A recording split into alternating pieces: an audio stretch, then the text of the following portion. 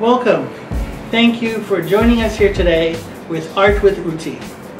I'll give you a little short background so you have an idea that I'm just not doing little doodly here. Um, I started doing artwork formally when I was a bit older than I am in high school, but I was taught by my mother and my grandmother at a very young age doing what they call local style of art, mainly like tapa making and ele and so forth. But my passion has always been with scenery and the garden itself. And this painting that's behind me at the moment is a representation of my passion, which is a particular type of plant here in American Samoa. It's actually what we call here the avapui, but I've actually morphed it into something that's a little bit different because it is true, but there's also a little fantasy part to it.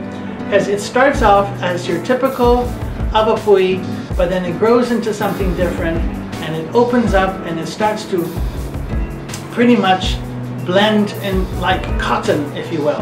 It's like feathers. So it's actually blowing in, in the wind. And when I started this, this painting, I didn't really have a vision. It was more what I wanted to just see what I could do. And the colors started off very dark, and then it ended up being this vibrant red hue that you can tell in this in the beautiful leaves or the flower itself, which is part of the whole painting. But the background has its dark hues. That was, I would say, it wasn't really intentional, but it ended up being that way as I was making it. And I think that's what makes this piece very special. What I would like to ask is that I haven't named it yet, but if you out there feel that you could help me I would really like to hear from you. Give me what you think that you would like to call this painting or how it makes you feel.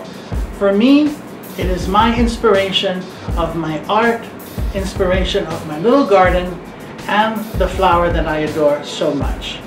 Again, this is Art with Uti in American Samoa. Thank you very much.